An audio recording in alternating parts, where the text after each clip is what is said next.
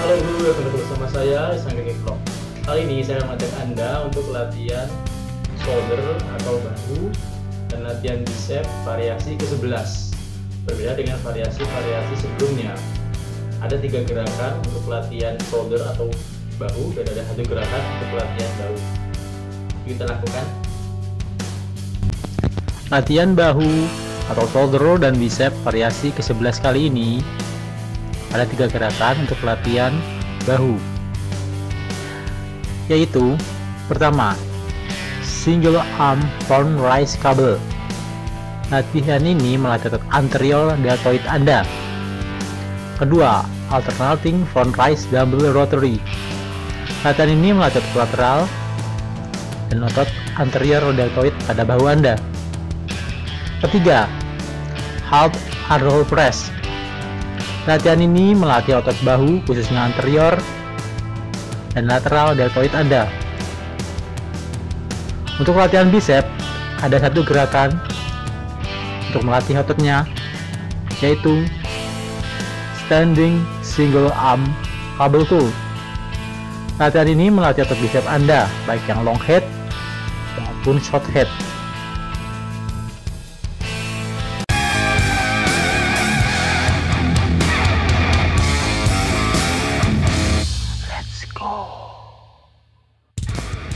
Latihan bahu pertama, single arm front raise cable.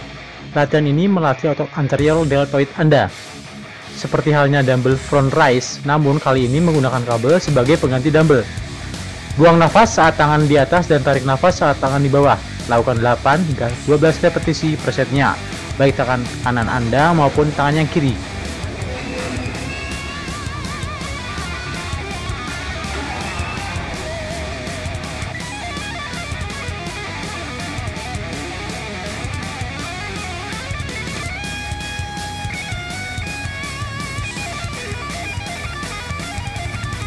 Kedua, alternating front raise dumbbell rotary. Latihan ini melatih otot lateral dan anterior deltoid pada bahu Anda. Dengan memegang dumbbell di kedua tangan Anda, angkat ke atas dari samping kemudian setelah di atas, satukan dumbbell di depan dan turunkan secara perlahan. Buang nafas saat dumbbell di atas, tarik nafas saat dumbbell di bawah. Lakukan 8 hingga 12 repetisi per setnya.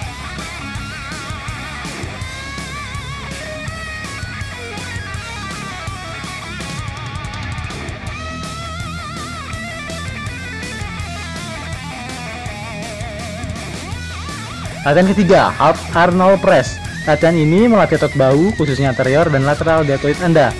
Gerakan ini hanya pada pertengahan gerakan Arnold press. Dari depan dada, kemudian putar dumbbell ke samping telinga Anda. Dengan posisi dumbbell agak dimiringkan guna memfokuskan pada otot bahu Anda. Buang nafas saat dumbbell berada di atas samping kepala. Lakukan 8 hingga 12 repetisi per setnya.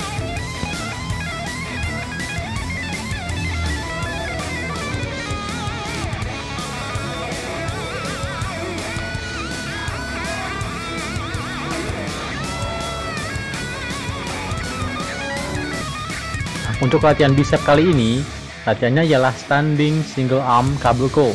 Latihan ini melatih bicep Anda, baik long head dan short head pada bicep Anda. Dengan memposisikan badan belakang kabel sehingga dapat menarik kabel seperti halnya bicep curl. Namun kali ini menggunakan kabel sebagai pengganti dumbbell Anda. Buang nafas saat posisi tangan di atas dan tarik nafas saat posisi tangan netral atau di bawah. Lakukan 8 hingga 12 repetisi per setnya, baik tangan yang kanan maupun tangan yang kiri Anda.